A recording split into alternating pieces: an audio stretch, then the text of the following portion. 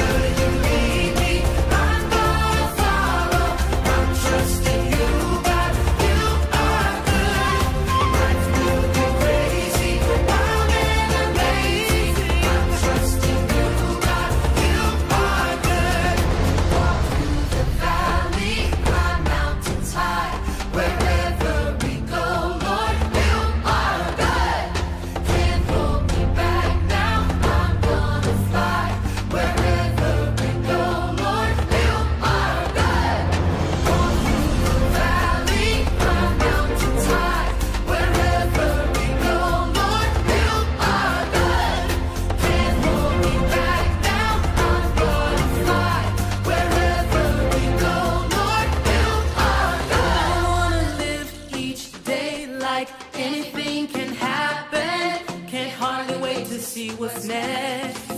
I wanna face this world with wonder and excitement. Face every challenge, every